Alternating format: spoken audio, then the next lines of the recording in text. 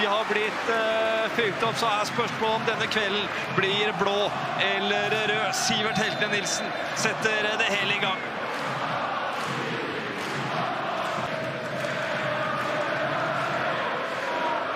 Pedersen beholder roa der når Sander Svendsen kommer i press. Heltene Nilsen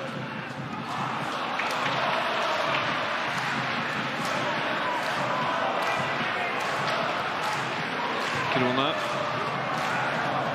De aggressive vikingspillerne. Når de klarer å løse den, uh, Sivert Helte Nilsen, så er det Seri Larsen.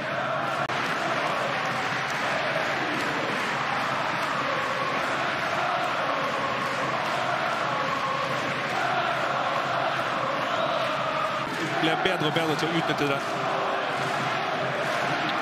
Det er fra Castro. altså står helt alene og henter den videre. Nilsen Tangen.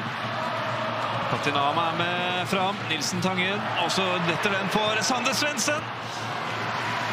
Ser jo hva han prøver på, men Dingeland står ganske langt inne der. Så slår Krone den rett i brystkassa på Jasbekk. Delalé. Salvesen. Og Delalé legger den til videre til Svendsen! Dingeland med god redning. Herlig! Like angrepsspill av Viking. Ja, nå flyter det godt eh, for Viking. Starter etter gjenvinning her. Fine kombinasjoner settes opp der det er Landleng som kommer i herlig driv. Slipper den smarte Sander Svendsen. Der får han eh, trykk på han. Dessverre for Viking ikke langt nok til eh, side for eh, Dyngeland.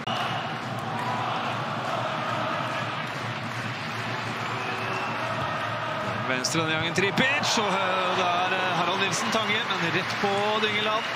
De mister en mann, men likevel eh, utrolig uheldig for et brannlag som eh, har eh, såpass tynn tropp.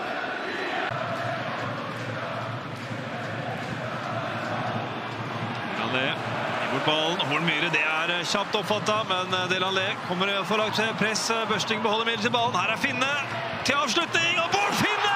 Han sender i Brann foran! Ja, du etterlyste han! Her er han, Bård Finne!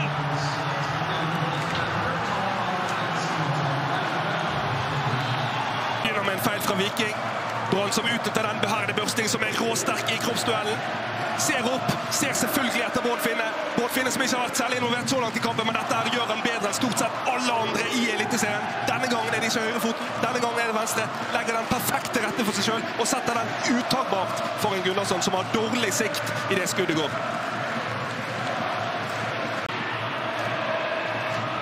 Her er det masse rom for Blomberg. Et touch har han nærmere det neste, og så kommer det tredje til Finne! Og for en blokkering der av Diop! Ikke, skulle ikke forlenge kontrakten i hvert fall, før skaden. Og her er straffespark! Nilsen Tangen som sniker seg inn foran Rasmussen. Null protester fra Brann-spilleren. Klønete Rasmussen. Vi ser det den vanvittig god bevegelse Nils Tangen får et helt riktig touch der, som gjør at eh, Rasmussen havner bak han. Mot eh, Dyngeland.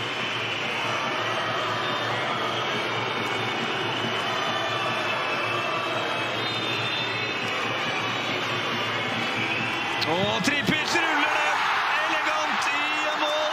Og Viking er à jour.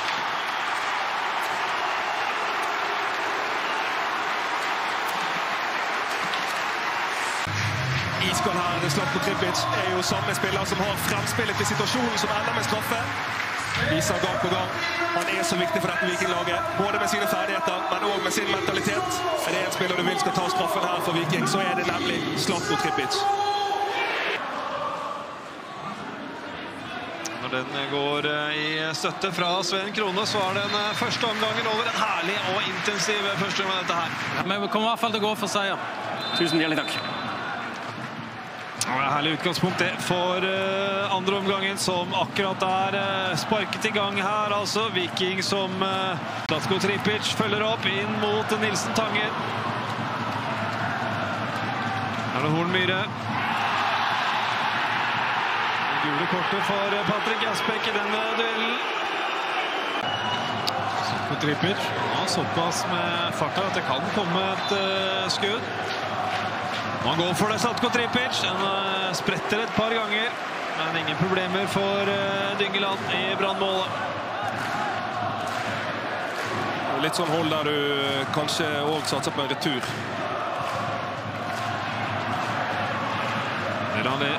De tar videre til eh, Tripic. Nilsen Tangen. Salvesen. Lars Jørgen Salvesen. Slatko Tripic. Til Patinama. Nilsen Tangen.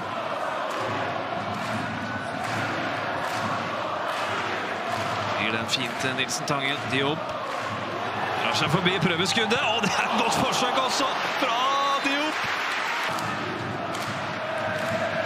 Myhre. Sven Krone. Blomberg. Videre mot eh, Finne. Han får eh, skutt, men der er eh, Diop med en ny avgjørende blokkering. Tror det er mange Bergens-fans som ønsker han skulle skyte. Det hadde vært bedre å gjøre det enn å miste ballen der, i hvert fall. Og Helte Nilsen med kveldens klareste kort. Det blir gult.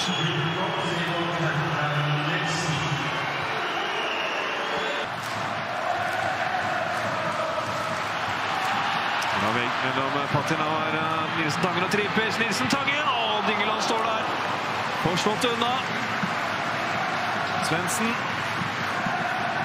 Forbi Pedersen her. Sander Svendsen prøver skuddet. og den går hårfint på utsiden. Det er vel via Felix Horn Myhre. Først gjør han til Branna. Heltene Nilsen er først på den. Ingen problemer for Gunnarsson. Og Seri Larsen som steller seg i veien for den igangsettinga. Det er en eh, helt bevisst handling fra dansken. Og hjemmefansen frustrert over at ikke han får eh, kort der.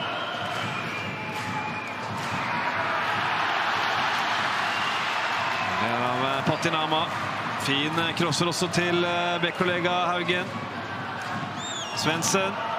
Jasbekk. Ah, forbi Pedersen. Jasbekk,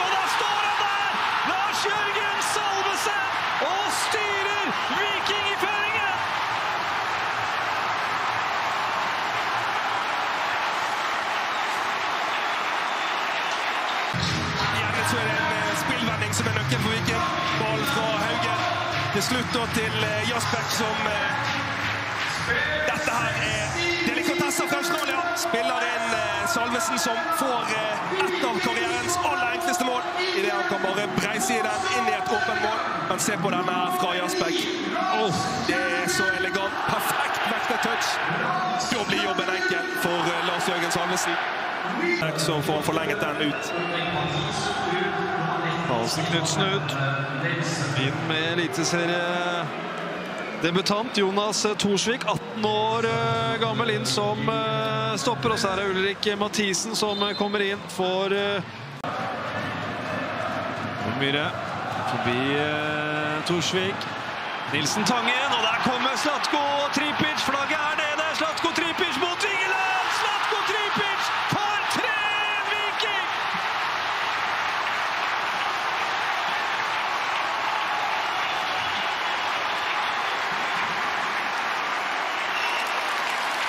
Som alltid i fotball så lønner det seg å være våken. Og der er Slatko Tripic bedre enn de fleste. Leser den, ligger våken på offside-grensen.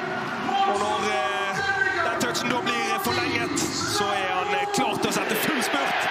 Iskald i avslutningsøyeblikket. Setter den ned i korteste.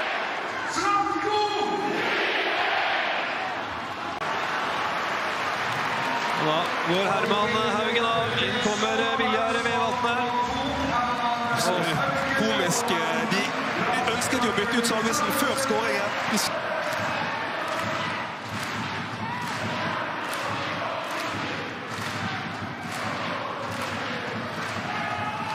Vi må bare prøve å få en eh, kjapp eh, redusering, sånn at vi, vi kan få litt trøkk på dem på slutten. Men eh, eh, vi får se om de grepene vi har gjort nå, om det betaler seg. Ja, Harald Nilsen Tangen spilte fram til Slatko Tripic. Leverte en eh, ny, eh, god eh, kamp og inn da med veteranen eh, Kristoffer Løkberg.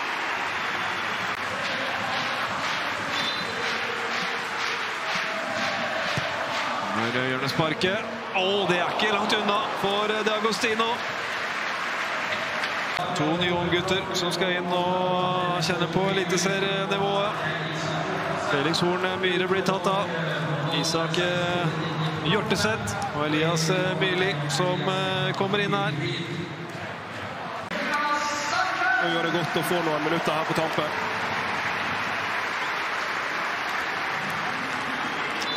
Til eh, Finne. Videre til eh, Børsting. Det ser ut som et ganske klart gult kort for eh, Diop. Der er han for Diop, men har eh, stort sett eh, hatt god timing i dag. Karl Jurie prøver å kåre ut Patrick Jasbekk til eh, beste spiller i Viking i kveld. Rasmussen finner Finne. Ah, første touchen til Finne er utsøkt, men avslutningen under press fra Brekalo, den går over. Og er den siste som berører ballen. Edvin Austbø. Brann tar altså ledelsen 1-0 i Vestas derby med en Slatko Tripic.